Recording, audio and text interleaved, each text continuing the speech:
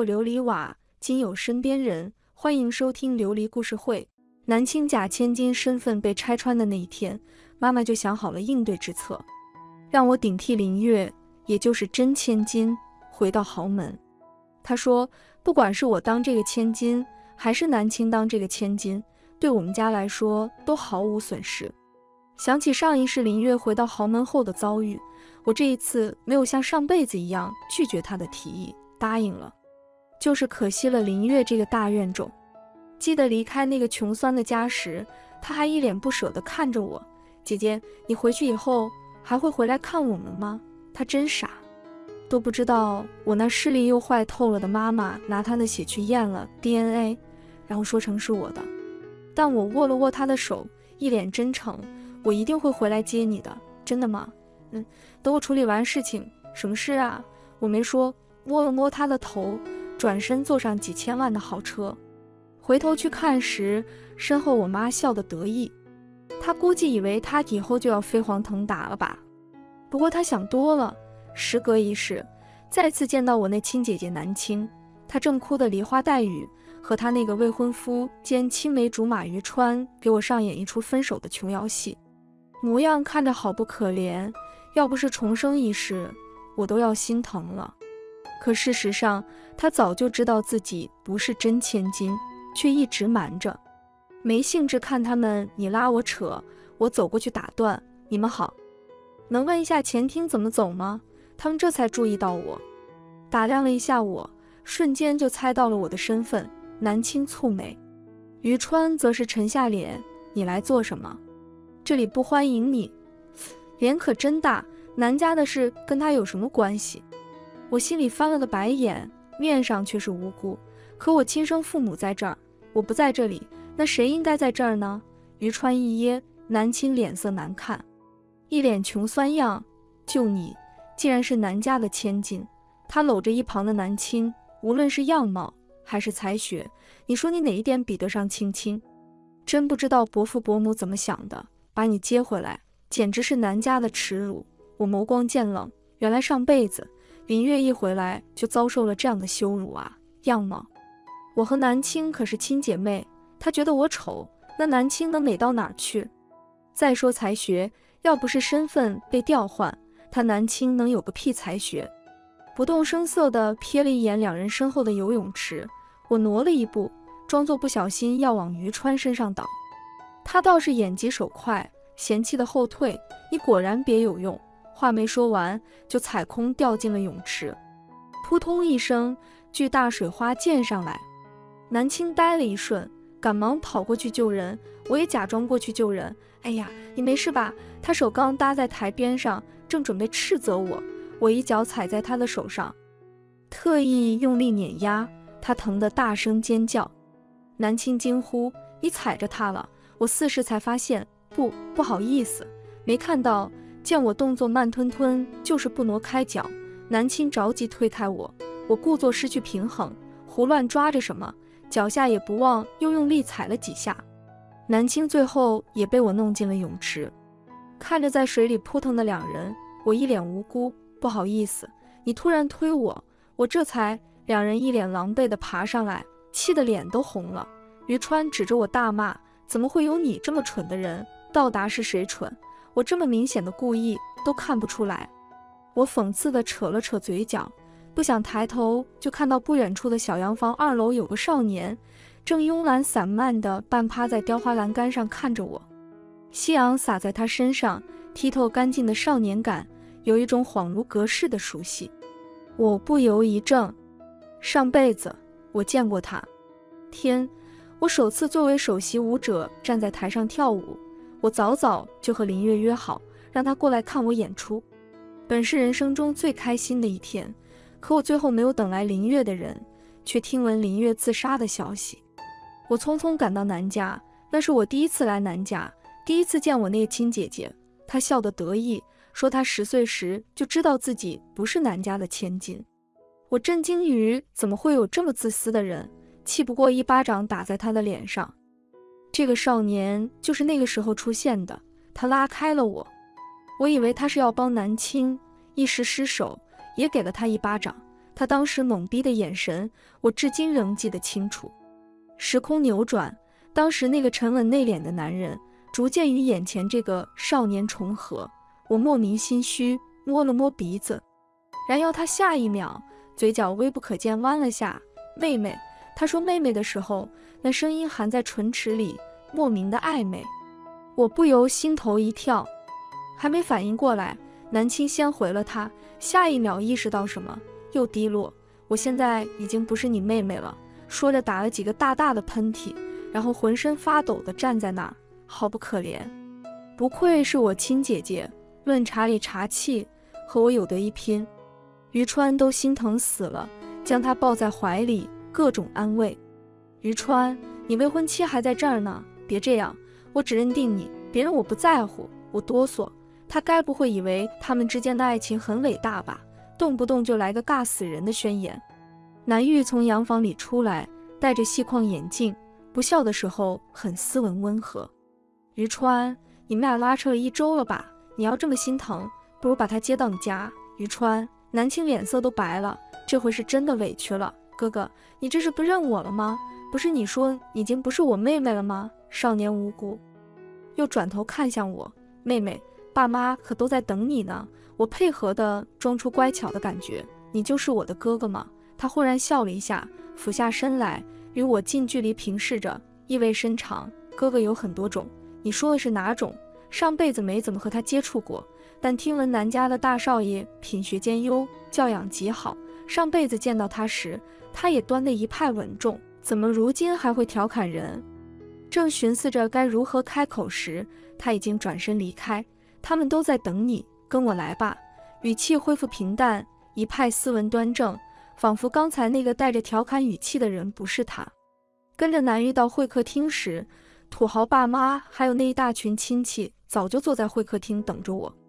土豪妈率先过来抱我，我的女儿，你这些年受苦了。后续紧跟一群亲戚对我嘘寒问暖，给我送见面礼。我强忍抗拒，很配合地露出楚楚可怜的乖巧模样，任他们跟撸猫似的摸我的头。然要我却听到身后传来南玉的低笑，我不懂他在笑什么。我警惕地看去，他悠然坐在沙发上，眉眼带笑，看起来温和无害。妹妹看我做什么？我一秒切换温顺，还不知道哥哥你叫什么呢？还没回答，土豪妈已经开了口：“婉婉，这是你哥哥南玉。”比你大两岁。此时此刻，土豪爸妈对他这个新来的女儿的态度还是很好的，眼含泪水，好像很是心疼这个女儿自小流落在外。然要下一秒，南青湿淋淋的进来了，一脸委屈的和众人打招呼，然后落寞的站在角落。可把土豪爸妈给心疼的，立马就顾不上我了，纷纷跑去问他怎么了。他欲言又止的看着我，没什么。我嘴角抽了抽，那表情、那眼神、那意有所指的话，看似没说，但其实都说了。果然，土豪爸妈迟疑地看着我。婉婉，这是怎么回事？我无奈再次装起无辜。妈妈为什么会问我呢？难道你们觉得是我做了什么吗？我敢吗？土豪爸妈惊讶，没想到我会直接反问出来。不过转念一想，确实，他才刚来，青青平时又娇气。不太像是能被欺负的性子，我轻眼下眸，我看我还是回去好了。刚才外头那个哥哥也说这里的人不欢迎我，还嘲笑我穷酸。两人震惊，谁这么说你？我没回答，哭着转身就要跑，把众人吓了一跳，赶忙过来拦住我。你这孩子，这是做什么？这是你家，你还要去哪里？别听人乱说，你是我们的亲生女儿，没有人比你更应该待在这个家。这话一出。南青神色暗了下来，我一脸怯怯。你们不用安慰我，我知道的。你们和我没有感情基础，所以你们看到姐姐淋湿了，才会第一时间怀疑我。土豪爸妈听得又愧疚又心疼，只能转头看向南青。青青，你是姐姐，婉婉刚来，对这里还不太熟悉。你以后你让着她点。南青眸光阴霾，却只能点头说好。婉婉，以后她就是你的姐姐了。你们一定要好好相处，知道吗？我笑不进眼底，也点头说好。确实是我血缘上的姐姐，不过血缘有什么重要的呢？和我从小一起长大的是林月，可不是她。用过晚膳，我被带进他们给我准备好的房间。土豪妈特地强调是南青给我布置的，话里话外全是南青善良体贴。要一旁的南青故作谦虚地说：“应该的。”两人一唱一和，真真是一对好母女。我听得生理反胃，面上故作强颜欢笑。这些年，青青姐姐能和爸爸妈妈一起生活，应该很幸福吧？不像我，我这些年，青青姐姐的妈妈对我可苛刻了，天天让我做家务，每次一打牌输了，就对我动手打骂。闻言，土豪妈想继续夸南青的话，就这么噎在了喉咙里。南青脸色也不太好看，只能讪讪道：“妹妹，以后你想要什么？”姐姐都可以送给你，以前的事就忘了吧。我讽笑他送，这里的哪一样原本不都应该是林月的？南玉又不合时宜的出现，妹妹不用难过，以后想要什么，哥哥都给你。他戴着锡框眼镜，虽然斯斯文文，但淡漠的眸子盯着我，总感觉他能看出什么。我怕自己疑心过多，不敢多想，只乖巧道：“谢谢哥哥。”他勾唇一笑。在大家最后都离开之时，突然靠近我，意味深长问了句：“我看妹妹你细皮嫩肉的，你在那个家真的过得那么艰难吗？”我心里咯噔一下，他为什么总说些奇怪的话？伪装的面具有一瞬间出现裂痕，然药还没容我狡辩一番，他已经走了。我看着他的背影，不由蹙眉。他是不是知土豪爸妈给我找了一所学校？但不是南青的那所，比南青所在的贵族学校稍次。南青看起来得意极了，这是八成跟他脱不了关系。想起上辈子林月的妥协，我故作单纯的一连三问：是不是我不配上那么好的学校？是不是他们嫌弃我？是不是也觉得我比南青差？闻言，夫妻二人哑口无言。他们确实是这么觉得的，但是被自己亲女儿这么直接问出来，莫名愧疚。只能打圆场说，之前招生满了，他们会再去求校长。我没拆穿他们拙劣的借口，南家可是最大的股东，他们想安排什么人进学校，轻要一举。南青不甘极了，后来几天开始作妖，三番两次，明明我都还没有做什么，他就总是在土豪爸妈面前一脸无辜，可怜兮兮。土豪爸妈看他小心翼翼的样子，心疼极了。终于，在他又一次准备陷害我之时，这次我成全他，把他最爱的钢琴给弄坏了。他不可思议，下一秒就心疼的哭着去找土豪爸妈。土豪爸妈一听便要责备我，我立马露出比他更惶恐的表情：“姐姐，我不是故意惹得你不快的，实在是我从小干的就是粗活，我这辈子碰到过的最贵的东西就是一千块的手机，我真的没见过钢琴。”你非要教我钢琴，我这才不小心弄坏了妈妈给你买的这一千万的名牌钢琴。我话说完，土豪爸妈就噎住了，一脸心酸又心疼地看着我。南青愤愤，还想要说什么，但土豪爸妈打断他：“青青，只是一架钢琴，你别老是小题大做。妹妹她不像你自小锦衣玉食，见多识广，你多让着她点。夫妻俩已经没了那个要替她做主的心情。”毕竟欺负我的可是他的亲妈，他只能认栽，暗暗讥笑，傻逼。第一天上学，南青没有和我一起，自己提前坐上司机的车走了。关于南家真假千金的事，早就传遍了整个学校。我一进学校，就明显感觉到每个人看我的眼神里都透露着好奇，有些好奇里还带着不善。这种不善我最熟悉了。上辈子在舞团里见惯了这种不服和不屑的眼神，甚至后来我当选首席舞者，他们不少人更是背后议论我，说我有后台，证据更是离谱。就因为每次表演结束，我都会收到一束花，但事实上我根本不认识送花的人。从我进舞团没多久，还是小配角的时候就收到了。我估摸着应该是送错人吧。在一个女同学的带路下，我走进教室。教室里的同学们看到我，气氛瞬间安静了。南青安静地坐在座位上，装着没看到我。我偏不让他如意，走过去打招呼：“姐姐早上怎么也不等等我就来学校了？”他蹙眉，并不怎么想在外面和我说话。我有点作业没做完，原来是这样啊？那你早前跟我说啊，家里就一辆车，你直接让司机送你过来了，我怎么办呀？他脸色一僵，没想到我会这么直白的当着众人的面直接问出来。周围人都在异样的看着我们，他脸一下就白了。喂，新来的，你也太咄咄逼人了吧？一辆车要也就斤斤计较，这么在意，我送你一辆啊？当真？我转头望向说话的人，他一噎，没想到我会顺着接下来，有种骑虎难下的感觉。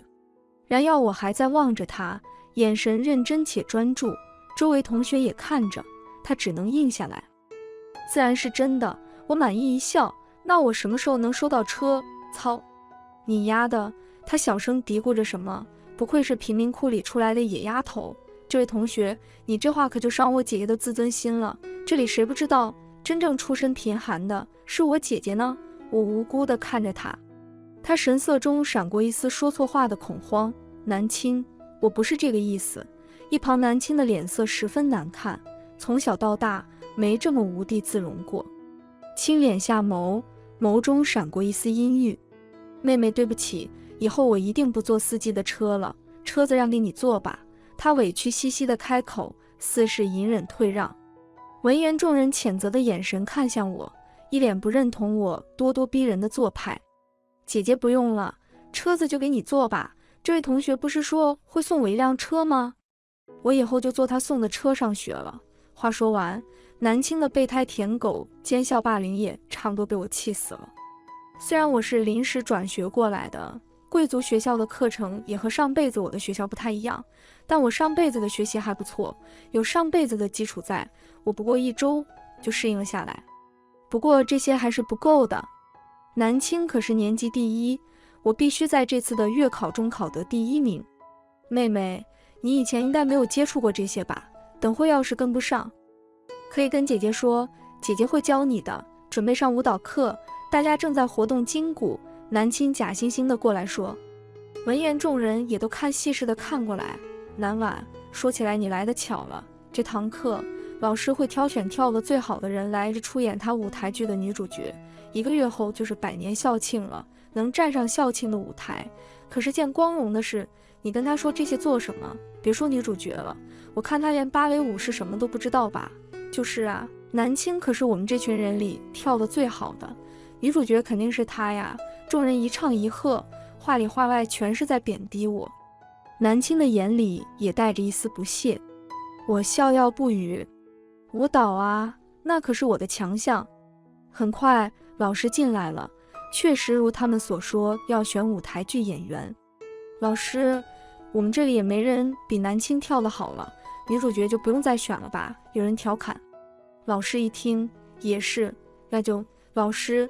南青突然举手打断：“这样不公平，还是都比一下吧。我不一定是最好的。”他的眼里是那么的自信，要在别人的眼里，他是那么的善良和公正。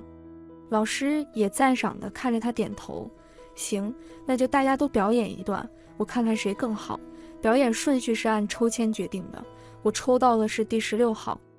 我观察到南青再来问我是几号之后，回去偷偷和别人换了号。”起初不懂他在搞什么鬼，直到老师喊第十五号的时候，他站起身，我才知道他什么意思。想在我之前跳，好给紧跟在他后面跳的我一个强烈对比，让我出丑。呵，可真是煞费苦心了。我默默看着已经跟随着音乐舞动的人，看得出来他跳得很认真。不过跳舞有时候还挺看天赋的，更别说像他们这种大小姐。只是把舞蹈当成一项可以炫耀的才艺，肯定不会多刻苦的去学。上辈子的我在舞团里可是经过了七年的魔鬼训练。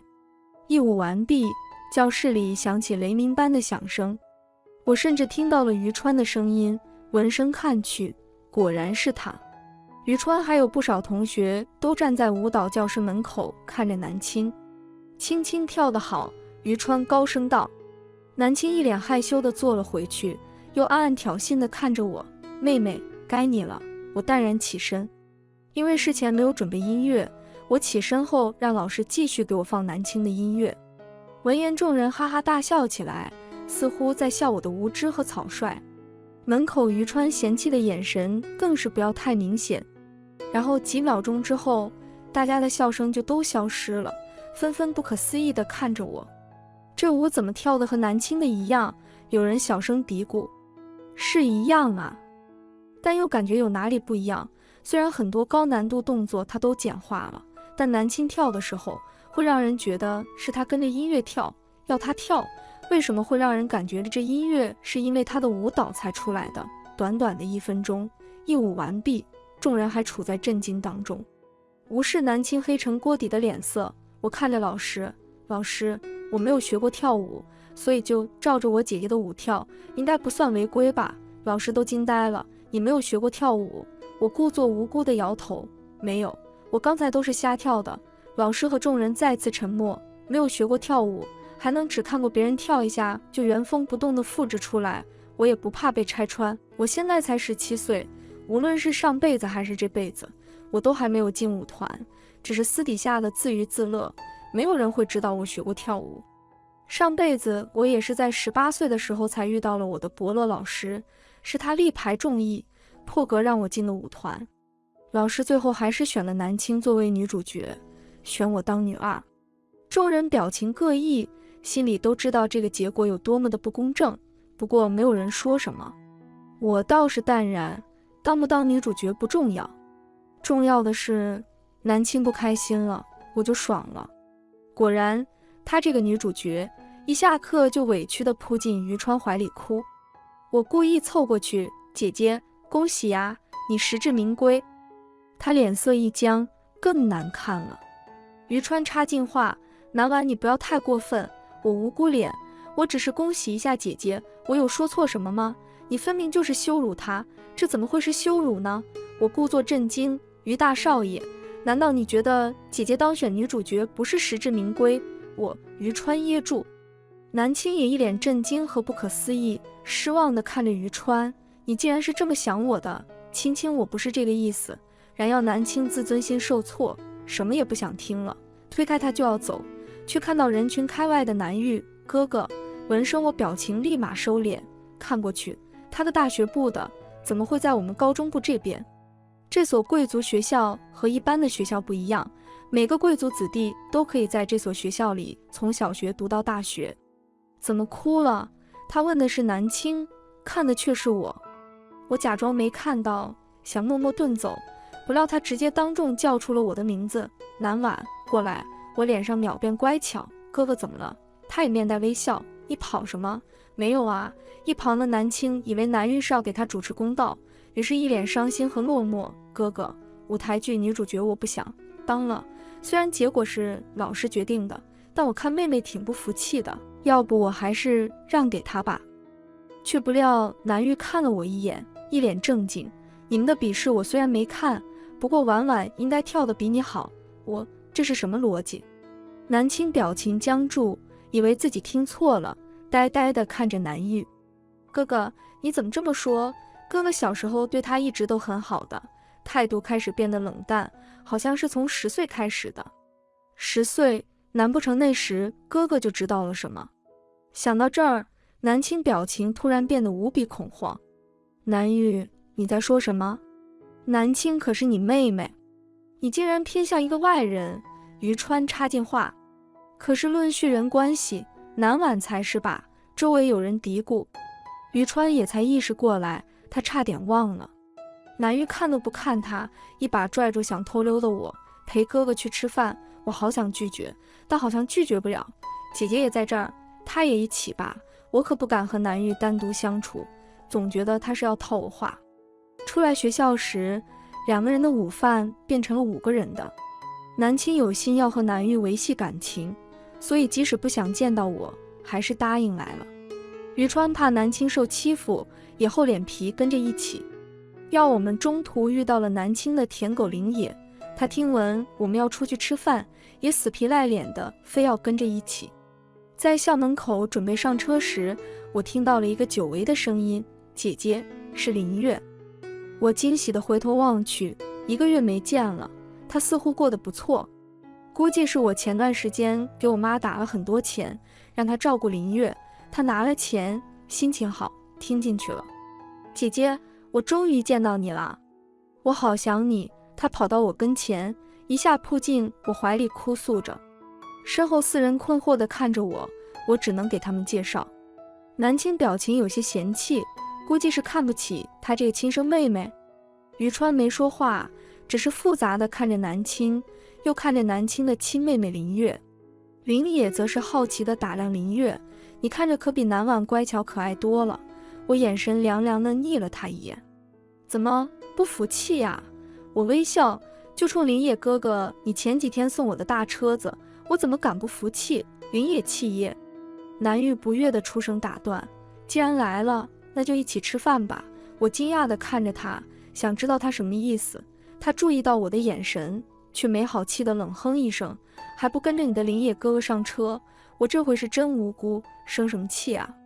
南青窃喜着开口：“哥哥，你是为了我才叫上他的吗？”“谢谢哥哥。”南玉蹙眉看了他一眼，倒也没反驳。去的店是南玉选的，是我上辈子有钱之后最常去的一家店。我很喜欢这里的菜，不过如果同桌者是这些人的话，那再好吃的菜也有些难以下咽了。六个人，气氛不怎么和谐的吃了一顿午饭。林月是个单纯的。根本没看出气氛的不对，全程沉浸在见到我的喜悦当中，一个劲的问我最近过得怎么样。林野似乎对林月还挺有兴趣的样子，很是直白的问他穷人的生活是什么样的。我，然而林月还真认真的回答了。我有些无奈，这么蠢，怪不得上辈子回到金圈不过几年就被欺负的抑郁自杀。长点心吧，傻妹妹。碗里突然被人夹进来一道菜。我抬头看过去，南玉一脸正经：“我夹错了，这个我不爱吃，扔了浪费，你吃吧。”我我是垃圾桶吗？虽然他家的这道菜我确实喜欢，但因为位置太远，上菜到现在我一直没吃上。时间转瞬即逝，一月一次的月考来了。这半个月以来，我都在专心学习，两辈子加起来，我都没有这么努力过。终于在月考成绩出来那一刻，我的名字取代南青排在了榜首。我终于放下心来，还好没有白费功夫。一转头就看到一脸不敢相信的南青，他死死地盯着成绩公告栏。怎么可能？他最近因为舞台剧的事一时大意，没有好好复习，一直以为可以稳拿第一的。毕竟一直以来他都断层是甩了第二名一大截。可谁能想到，他突然猛地阴郁地瞪向我，有那么一瞬间，我觉得他想杀我的心都有了。然要下一刻，于川出现了，他忙收敛表情，周围人窃窃私语：血缘是多么重要。都说南家的人很聪明，看看南玉，从小到大都是第一名。以前一直觉得南青也不错，可这南婉才刚来一个月吧，就取代了南青一直以来的第一名。果然。假公主就是假公主，是啊。听说最近的舞台剧排练，南青也跳得很糟糕，根本比不上南婉。越听南青脸色越难看，豆大的泪珠直直滑落。于川呵斥了周围八卦的人，又出言安慰他。然要他正情绪崩溃中，于川最后好心被当成驴肝肺，反被南青发了一通脾气。我在一旁默默看着，直到南青跑远，才凑上前去接着补刀。舔狗都没你这么会舔。于川以为自己听错了，隐忍着怒气：“你说什么？”我一改往日的乖巧温顺形象，挑衅的笑看着他。我说：“你连舔狗都不如。”南晚晚上，我刚回到南家，就看到那对夫妻在安慰南青。我假装不知道，乖巧的和他们打招呼，又对他们嘘寒问暖。与南青的无理取闹比起来，我显得懂事多了。我顺势摆出我的成绩单，说：“老师让他们签字。”夫妻俩都很震惊，没想到婉婉你成绩这么好，大概是我们南家的基因遗传吧。因为爸爸妈妈都很聪明，所以哥哥聪明，我也学得快。这话说的他们很受用，也难得思考起血缘的重要性来。尤其是一听到成绩，南青更耍脾气了。两者对比，夫妻俩头疼的同时，越发觉得。与他们有血缘关系的我，真真是哪哪都遗传了他们的优良基因。前段时间，你的舞蹈老师来找我们了，说你很有天赋，你考不考虑往这方面发展？闻言，我故作纠结。其实不用他们说，等我处理完这边的事，我也是会回去走我上辈子的这条路的。我爱跳舞。然要我还没回答，就被刚进门的南玉抢答了。婉婉很适合，没有人比她更适合了。我诧异地看着他，他什么时候对我这么了解了？夫妻俩很信任南玉，南玉说适合，他们也越发觉得让南家出一个舞蹈家不是不可以。反正比钱也没几个人比得上他们家了。比起培养下一代商人，培养艺术家更能让他们有成就感。说干就干，一晚上，整个饭桌上，夫妻俩都在和我讨论找私人舞蹈老师的事，我不堪其扰。只能敷衍的点头附和，要南青则是气得饭吃到一半就回房了。最近我妈频繁给我打电话，说需要钱，我一猜就知道她肯定是又去赌了。有心给他个教训，我没有给他钱，但又担心他会拿林月撒气，于是我寻了个土豪爸妈心情都不错的一天，提出能不能再收留一个女儿。他们愣了一下。显然没想到我会提这么离谱的要求，只能讪讪问我是谁。南玉和南青同时抬头看向我，我没说林月的名字，只是道她是姐姐的亲妹妹。爸妈对姐姐这么好，还送姐姐上那么好的学校，再收养一下她妹妹没关系的吧？话说完，南青脸都黑了，却只能隐忍着情绪。廖南玉意味深长地看着我，也没说话。夫妻俩略迟疑。可是他家里人应该不会同意吧？爸妈，你们不知道，姐姐的亲妈对我和林月可差了，经常不是打就是骂，我是真的心疼她。你们上次不是说要给我一个考第一名的奖励吗？我只想要林月过来和我一起住。夫妻俩为难，但表情隐隐有松动。南青坐不住了，爸妈，这没必要吧？我们家人已经很多了。我惊讶地看着南青姐姐，你怎么会这么说？难道你不希望你的亲妹妹过得和你一样好吗？她在那个家里，你妈妈对她也不好呢。闻言，夫妻俩一脸不赞同地看着南青，南青脸色一僵，只能附和我的提议。最后，夫妻俩答应了我的要求，南玉也没提什么意见。只是我回房了以后，他突然来找我：“你到底想做什么？”我刚洗完澡，闻言擦头发的手一愣：“哥哥，你说什么呢？”他微眯着眼。在装傻，可就不好玩了。妹妹，也许是南玉的眼神太过犀利，当天晚上我竟然难得的梦到了他。梦里他将我困在床上，压制着我，眼神冰冷。别装了，我知道你是谁。吓得我从床上惊醒，大汗淋漓。南玉这个人着实奇怪。排练了大半个月的舞台剧，终于校庆要来了。这半个月里，南青跟变了个人一样。每天疯狂练习，似乎铁了心一定要得到大家的认可。好几次我都看到他朝于川发脾气，把于川气走。要每每这个时候，我都不忘跟上去插刀一句，于川更生气了，气得口不择言。南婉，你每次都这么主动来我面前找存在感，是不是喜欢我呀？我面不改色，存心恶心他。是啊，喜欢你喜欢的不得了。他一噎，下一秒脸竟然红了，支支吾吾的，半天也对不回一句话。直到他看向我身后，喊了句“南玉”，我一愣，下一秒就听到南玉那能冻死人的声音：“妹妹，你才十七岁吧？早恋可不好。”语气平淡，但莫名感觉到一股杀气。于川一直就有些怕南玉，闻言灰溜溜跑了。我自从上次那个梦之后。也一直在有意躲着南玉。于川一走，我也想溜，然要却被他拽住衣领。最近在躲我？没有，否认的这么快，心里有鬼。哥，我节目准备开始了，我还得去换装呢。我送你去。他态度强硬，我只能同意。在来到大礼堂附近时，正头脑风暴怎么脱身，就看到不远处一起走来的林月和林野。他们两人似乎最近总是一起走。要且看他们这状态，好像是林野在缠着林月，这可不好。林月这傻丫头可别被这校霸给欺负了。哥，我去找林月，我担心林野会欺负她。他挑眉，顺着我的视线看去，也微眯着眼。林野这小子，确实我也看着不顺眼，是吧？我顺势挣脱他就跑。那哥，我就先过去了，警告了一番林野。我把林月带去后台化妆间，南青这个女主角早就在那里化妆。看到我和林月，她眼神很复杂。说起来，她最近真的很奇怪。我也没理会她，让林月自己待着。我去换衣间换衣服。然要进了换衣间，我刚准备穿上戏服时，却发现衣服被人动了手脚。那处手脚并不明显，不过因为上辈子我遇到这种事过于多，所以对于每次要上场表演的服装道具都会仔细检查。这一检查就让我发现了不对劲。得亏我发现了，要是换个傻一点的，到时候上了台就得当众裸奔了。虽然怀疑南青。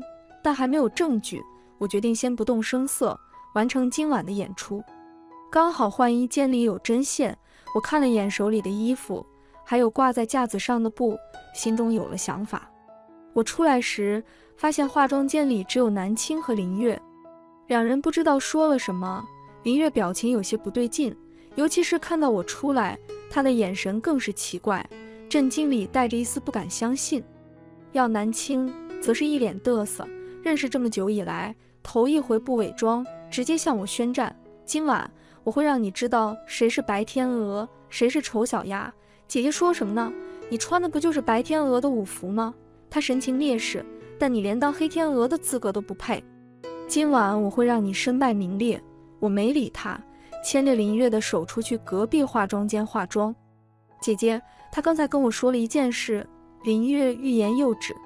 他以后说什么，你都别理他。林月纠结，但还是听话地点点头。我和南青的节目是第五个，在后台等待上场的时候，土豪爸妈也来了。南青从半个月前就每日一问，让他们一定要抽空来看演出。婉婉，这是你第一次演出，紧不紧张？土豪妈慈爱地看着我。这几个月的相处，我已成功俘获了这对夫妻的心。然要不知道是不是我太过敏感，在土豪爸妈对我多番关切询问之后，一旁林月的表情有些不对劲。还没等我想明白是怎么回事，外头主持人就报了我和南青的节目，我只能先上台。我演的是黑天鹅，南青是白天鹅，她的服装比我好看，戏份也比我稍重，看得出来这段时间她是真的用心了。跳的比之前好了不止一点两点，瞧他在观众看不到的视角里还能分神出来跟我嘚瑟，估计是以为我接下来要出丑了。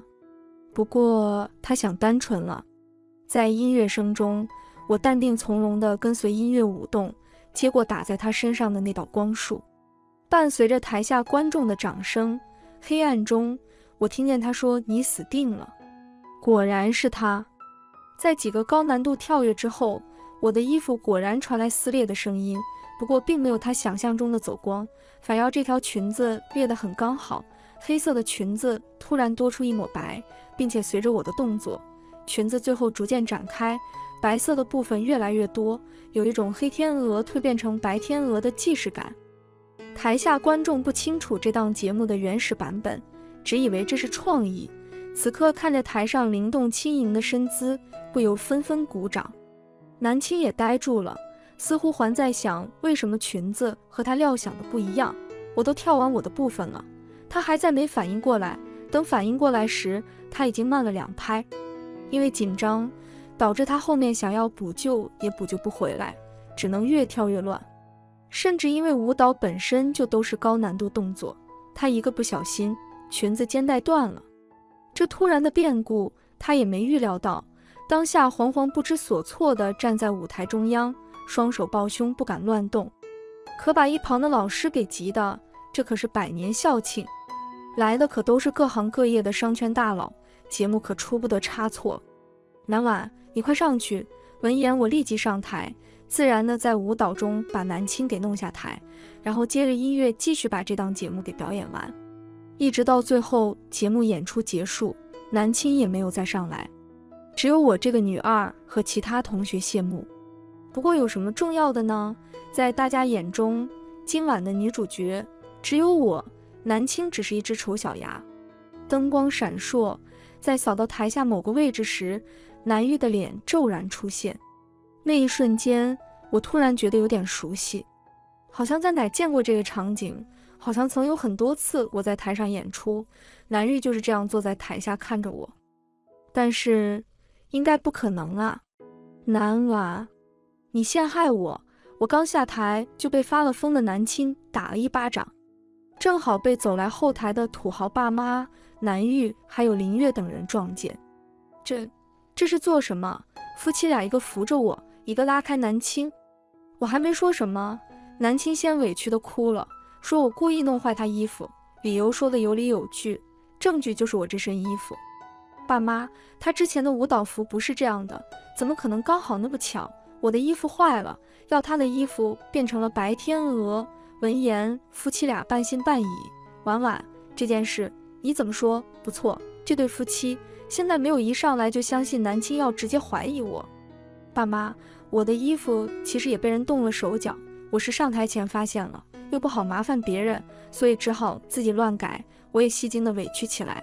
说起来，姐姐，你今晚说要让我身败名裂，你的行为也很可疑呢。你胡说，我没说过，你们别信他，我怎么胡说呢？你今天警告我的时候，我刚好手机开着录音呢。说着，我拿出手机播放录音，录音里赫然是南青趾高气扬的声音。今晚我会让你知道谁是白天鹅，谁是丑小鸭，但你连当黑天鹅的资格都不配。今晚我会让你身败名裂。录音放完，众人心里已经有了判断，然要南青依旧嘴硬。大家别信他，他肯定是早就料到了现在，所以才提前录音，不然他怎么那么刚好有这段录音？他今晚似乎异常的豁得出去，一定要与我来个了断，一点不留后路。姐姐，这不是我特意录的音，在你说话之前，这段录音里是我的自言自语呢。我怕我上台时忘词，所以就自己录了下我的台词，想着时不时温习。我把录音往前拉，证明清白。他顿时哑口无言。我又道：“说起来，姐姐的行为才奇怪吧？为什么你的衣服坏了，你会第一时间怀疑是被人做了手脚，并且怀疑是我呢？不会是以己夺人了吧？”要不还是让大家看一下，到底是衣服质量的问题，还是被人为割断的吧？这个很好判定的。闻言，他心虚，僵持在原地。姐姐要是不敢给，我就先把我的衣服给大家鉴定了。我半点不带犹豫，回去换衣间换下衣服，出来时大方给众人检查。土豪妈倒是公正，这件衣服之前确实是被人故意割断了一半，后面是婉婉你自己改补的。我点头。我又看向南青姐姐，该你了。如果你的衣服不是人为的，那可就是你陷害我不成？在自己衣服出了问题之后，还要倒打一耙了。南青这下子是真的慌了。于川一脸失望地看着他，青青，他说的是真的吗？他突然指着我，他就是个撒谎精，他是骗你们的，包括他说他是你们的亲生女儿。此话一出，在场的人都震惊住了。从外头赶来的林野闻言，就是一句卧槽。于川走到南青旁边，亲亲，话不能乱说。南青气得推开他：“你这是不信我？你不信我？你问林月呀，她才是真正的南家千金。”闻言，众人一致看向角落里的林月。此时此刻，我终于知道今晚上上台前为什么觉得怪异了。原来在这等着我呢。我讽笑。他该不会以为这样我就怕了吧？我这次的任务已经完成了，身份曝不曝光根本已经无所谓了。我本来也打算今晚回去就主动说开，反正南青从今天开始就不会再回得去南家了。然要林月坚定的声音忽然响起：“我不是，是南青在骗人。他说让我和他一起骗大家，是他想把南婉赶出南家。”我惊讶了一瞬。在收到他眼神无声的回应之时，心里从未有过的感动。我妹妹从来不会撒谎和耍心机，两辈子了，这是头一次撒谎吧？还是为了我？不过这个身份是时候还给他了。林月，确实才是南家的千金。我看着众人，淡定地说出这个震惊众人下巴的事实。大家谁也没有说话，只有看戏人林野。卧槽，这二次套娃呀！这是假千金被发现之后换回来的，还是一个假千金？那这次这个到底是真的还是假的？大家这是要轮流做一回南家的千金。林月走到我跟前，姐姐，我握了握她的手，别怕。她摇头，我不怕。原来你之前说要处理的事就是这个。我摸了摸她的头，我家傻丫头。终于聪明了一回，林月爸妈终于从震惊中回来，一脸复杂又可惜地看着我。你真的不是我们的亲生女儿？我坚定摇头，真的不是。你怎么会不是呢？我无视他们的怅然嘀咕，离开前又报了一个秘密：伯父伯母南青早在十岁的时候就和我妈妈见过面了。他知道自己不是南家的亲生女儿，却一直在骗你们。如果你们真的心疼林月这么多年受的苦，就请不要再收留她。这话一出，这回南青真得腿软，坐在了地上。南青这半个月的奇怪，应该和我前段时间没有给那个吸血鬼妈妈钱，但是他却没再来找我有关吧？不出我所料，他应该是因为我不给钱，所以来找了南青要，并且告诉他我是假千金这件事。南青还以为拿捏住了我，呵。一年后，我上了大学。我的生活重新恢复了平静，和上辈子一样。我的伯乐老师依旧找到了我，让我进舞团。因为有上辈子的加成，这次我不需要再在舞团里熬七年，只花了七个月，我就拿下了首席舞者的位置。要这次，我凭实力断层式吊打其他人，没有人再不服我。林月回到南家后，没有了南青的阻碍，日子也过得很好，还常跟我说他爸妈很想我。我倒是没放在心上，不过他说林野和他告白了，这我倒是有点担忧。林野不是南青的舔狗吗？什么时候喜欢上的林月？不会是要为南青报仇吧？我杀去林月的学校，想看看林野什么意思，但林野没看到，先碰到了于川。本不想理他，但他叫住了我，想问南青的事，自己去问，我不清楚。我经济独立。根本没有再回那个家。不过听说南青跟着那个吸血鬼妈妈生活，日子过得很惨就是了。不是要问他，那你还能有什么事找我？他有些不好意思，就是想知道你的近况，过得比你的亲亲好。放心，我不是这个意思。上次你不是说你喜欢我吗？我愣了一下，后忍不住笑了。你信了？你们有钱人都这么轻易相信人的吗？他黑了脸。所以你没有喜欢我？你回去照照镜子好吗？只有南青才会看得上你吧？于川被我气走了，我不以为意，正要继续去找林野和林月，又碰上了个人，南玉。怎么哪哪都有你？我刚去你学校找你，他们说你不在。想起这个人最近老来我演出的地方看我表演，还给我送花，大家都调侃他是我男朋友，我就头疼。大哥，戏呢？已经演完了，我和你。没有任何关系，你能别老在我跟前晃悠吗？就算是我之前欺骗了你和你父母，这不也是出于善意吗？看看你现在这泼辣劲，之前装乖巧，挺累的吧？所以，所以我请你吃饭，谢谢。我减肥，我没想到南玉这个人这么难甩开。后来大学四年，四年如一日，天天来我面前找存在感。姐姐，我哥他喜欢你，你没发现吗？我发现了呀，但他喜欢我。我就必须喜欢他吗？顿了顿，我看了眼状态越发好的林月，你和林野真的要订婚了？也太快了吧！闻言，林月一脸甜蜜，他人真的挺好的。我看他这样也不好说什么。确实，经过四年的观察，我发现林野这人除了嘴欠，也没啥坏的。订婚那天，姐姐你会来的吧？爸妈真的都挺想你的，他们想不想不重要，但是你订婚。姐姐一定去。不巧，我前脚刚答应，后脚就发现那一天我有一场演出，不想让林月为难，我只能和舞团这边请假。然要他们说，这次的演出不仅仅是对舞团加成很大，对我自身也是。这次的演出决定了我能不能站上国际舞台。不想放弃这个难得的机会，我打算跳完就赶过去。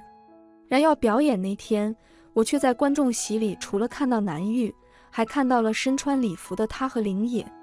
愣神的一瞬间，他冲我高喊：“姐姐，不能来看你人生第一次首席舞者的舞台，这一次我一定不能错过了。”我知道他指的是我三年前的那次演出，但莫名的此情此景，竟让我想到了上辈子。